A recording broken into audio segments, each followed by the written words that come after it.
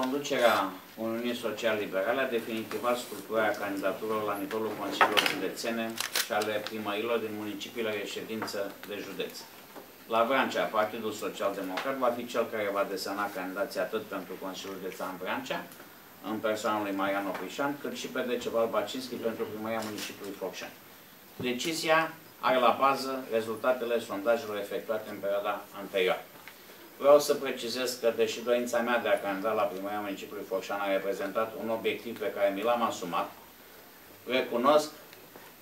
și susțin decizia USL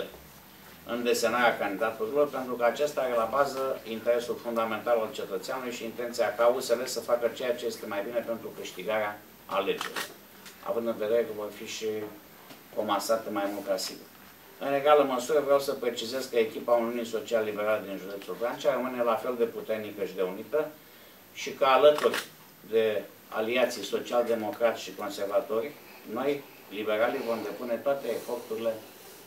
în ceea ce înseamnă eliberarea de sub puterea portocalii.